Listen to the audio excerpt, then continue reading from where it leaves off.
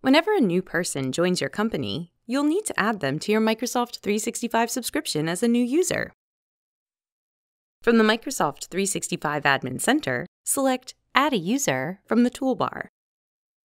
Enter their first name and last name, adjust their display name if needed, and then enter a username, which will be used for their email address. Select the domain you want to use.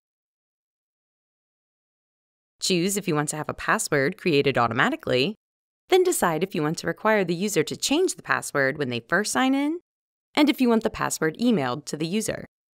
As the admin, your email address is automatically added, but it's a good idea to add the new user's personal email as well, so they receive the account details. Select Next.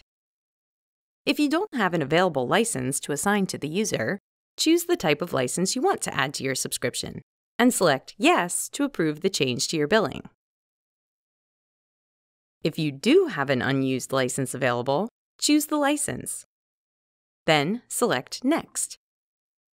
Optionally, adjust the new user's role if they need some level of administrative access, and add additional profile information.